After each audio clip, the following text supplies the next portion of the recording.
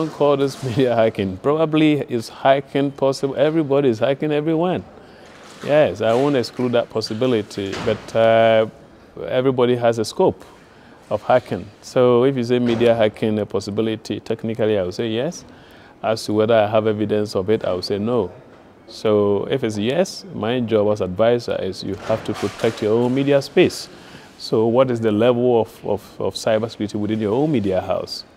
It's a conversation that you need to have. You need to take to management that because this is possible, it has happened elsewhere, even though advisor hasn't got evidence of it happening in your network.